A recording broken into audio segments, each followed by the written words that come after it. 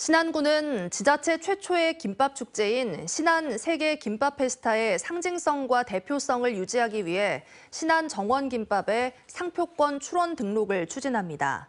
신안 정원 김밥은 지난 4월 자은도 뮤지엄 파크에서 열린 신안 세계 김밥 페스타를 통해 시중에 알린 김밥으로 다양한 해산물과 섬초 등 지역 자원을 활용해 관광객들의 호평을 받았습니다.